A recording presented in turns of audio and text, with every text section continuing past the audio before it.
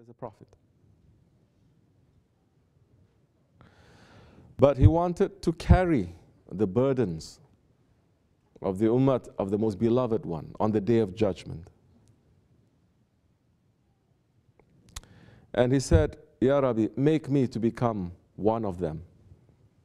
I will give up my prophethood, the highest distinction and station that Allah can ever give to a human.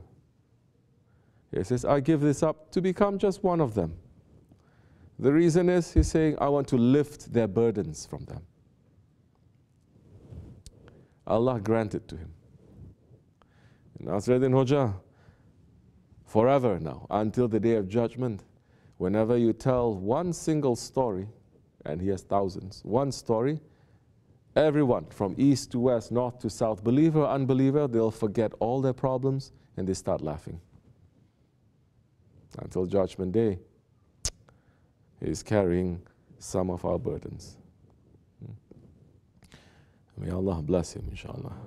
Those holy ones they're going to come back to when the time is near to fight in that big war that is coming. World is preparing. Heavens they are preparing. Mankind is sleeping. Murid sleeping, fighting with one another. Murid sleeping, running after the dunya. Murid is sleeping in ghaflat. Murid is sleeping, uh, having strange ideas here and there. Don't be. Understand that your enemy is always out there to trap you. He's always out there to trick you. No one is escaping from this. Not you, not me. Our work is always to see where the enemy is going to trick us and not to fall into that trick. Not to say, I didn't know. Especially in this time for anyone to say, I didn't know. To know how they're laying the traps to avoid that. We're never telling you to declare war against the shaitan or to declare war against the dunya. No. But to know how the shaitan and dunya, they're going to trick you. So walk carefully. Walk carefully. Don't use your own head too. Is when you use your own head, usually you will fall. And you will step on that landmine and it'll blow up in your face. We are very lucky because we have our Shaykh thinking about us, for us, 24 hours. This is what is called sunnat. That Holy Prophet والسلام, he has already laid the way. Our akal too, Allah subhanahu wa ta'ala has created it. It doesn't come from us, it doesn't belong to us. You understand? Intelligence doesn't come from us, it doesn't belong to us. Ya Alim, Allah is the one who has created intelligence and his, his name is there, the one who has knowledge. Shaitan also claims he has knowledge. The ego also claims he has knowledge. The dunya says, I have knowledge too. Your desires say, my knowledge is above everyone. Don't get fooled. The duty of a believer is not to get fooled. You have a guide, follow him. Some pretending to follow.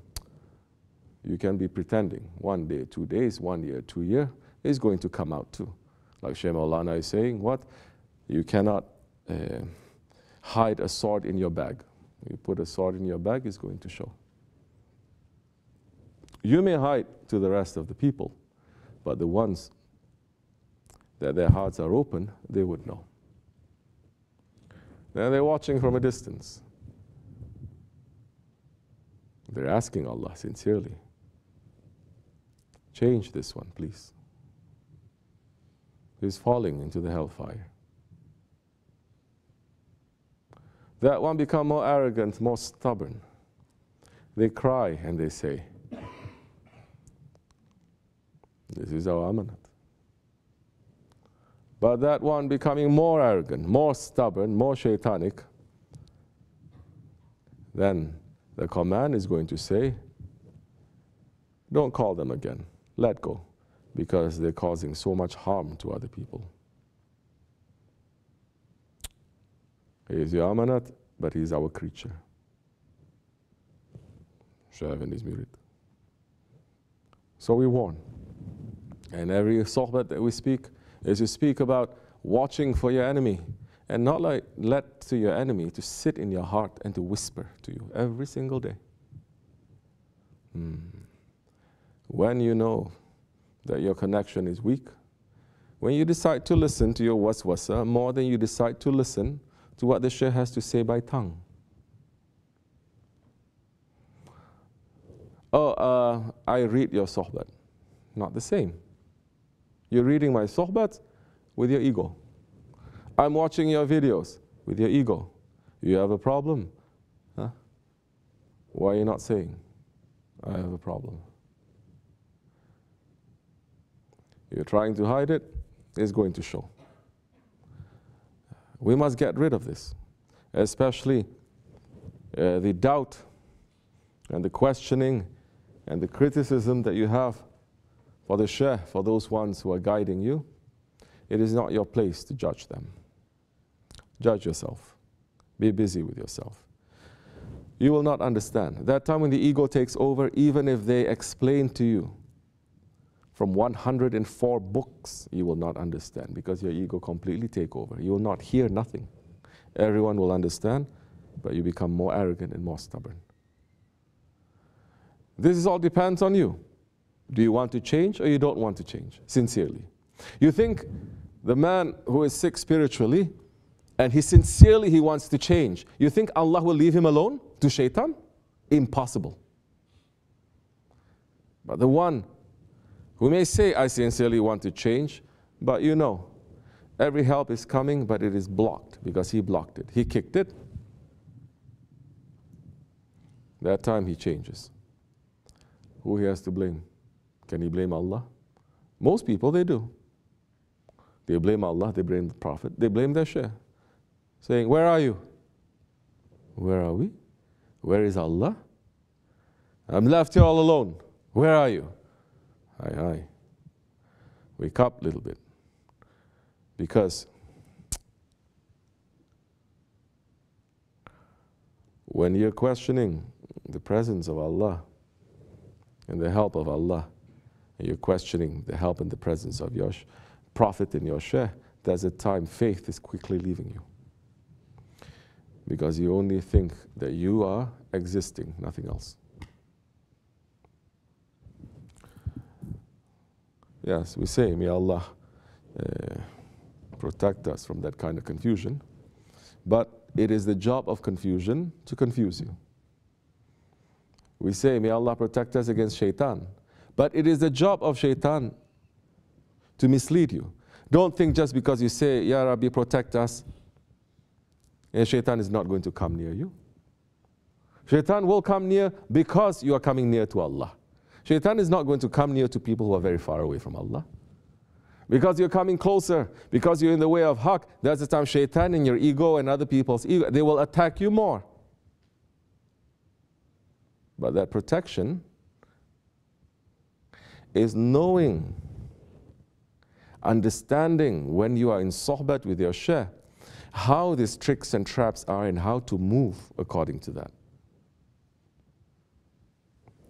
You will know it is there. The danger is when person thinks, I'm okay. Danger is when the person thinks, I'm okay, other people, they are not. Danger is when a person looks down on other people. Danger is when a person thinks that other people, they are planning to bring you down. Hmm. No.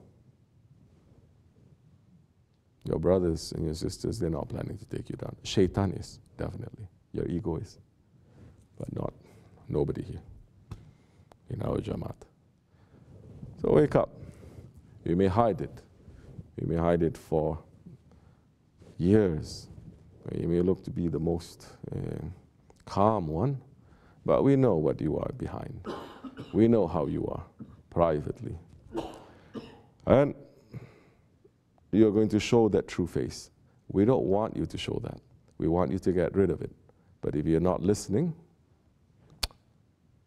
what we can do? Prophets, uncles, they're not listening. What can he do? So take lesson from this, you and me. Get rid of those things. You know how usually the doubt and everything enters into your heart when really you have nothing to do. When you have nothing to do. When you're not working or you have a lot of free time and you're on that internet 24 hours. Yeah? You're not struggling against to your lower self. You're not fighting against the shaitan. You think everything is okay. Pretty soon you find yourself, you're fighting against those ones who love you most. You're attacking them. Because that's what shaitan wants you to do, to attack those ones who love you most. You start attacking them. One day you feel that you're completely right. You feel that you are the highest Lord. One day you feel so bad because you treat them like that. That's what shaitan wants you to do. Swing one to another because you have nothing better to do. The help is over there, and you're saying, Why I must go over there to help? New style. Doesn't he know already? Why I have to go to him? Complete arrogance now. It's like Allah is saying, Ask me. And you're saying, Allah, why I have to ask you? Don't you already know? You understand? And Allah says, Ask me. Ask me even if you tear off your shoelaces, ask for me. Oh, of course, now new style, they're saying, oh, yeah, he wants to control everything, asking everyone to ask him. I said, no. If you know what to do, and all of so many of you are witness here. In the beginning, I will lead you the way. I will hold your hands and walk like this. After a while, I'll let go and I say, now you better know how to run. Correct? Because I have other things to do. I'm not going to hold your hand all the time. You know how to do this? Run because you have other work to do. Everyone does.